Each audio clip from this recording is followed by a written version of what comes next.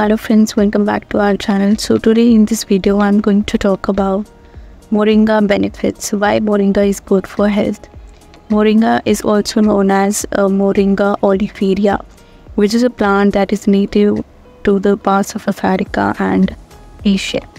It is basically also referred to as the uh, as the drumstick tree or a magic tree because of its richness in the nutritional profile and potential health benefits. So let us talk about the reasons why it is considered a good source for healthy benefits to the body. Number one is that it is nutrient rich.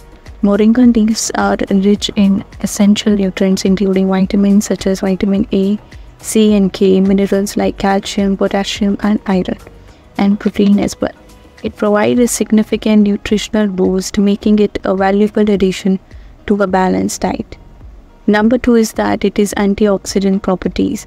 Moringa contains powerful antioxidants like quercetin and chlorogenic acid and beta carotene as well.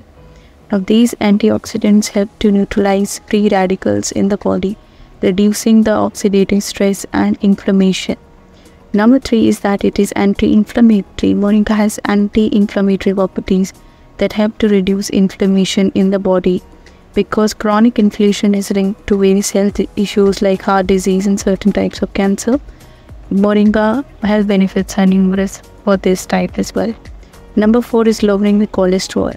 Some studies have also suggested that moringa help lower the cholesterol level which can contribute to heart health because it have positive effect on the lipid profiles.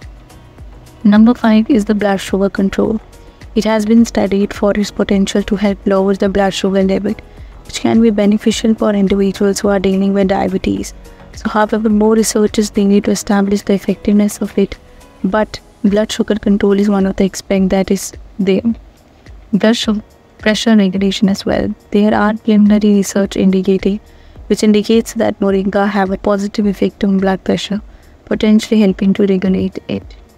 Number 7 is antimicrobial properties. Moringa has been shown to help uh, antimicrobial properties which may help to combat various infections caused by bacteria, virus and fungi. It also supports digestive health of the body. Moringa contains fiber which is essential for digestive health. It can help prevent constipation and promote a healthy digestive system. It also helps in weight management there are many studies which suggest that moringa have properties that help in weight management. So it also assists in reducing body weight and fat mass which is present in your body. Last is that it is rich in antioxidants. It is a rich source of antioxidants which can help to protect the cell and damage and support overall health of your body. So while moringa offers numerous potential health benefits to your body, it is essential to fully understand the effects that it has. So this was all about this video. Hope you have known about what are the potential benefits of moringa to your body and you have liked the video and the information. Thanks for watching the video. Hope you have liked it.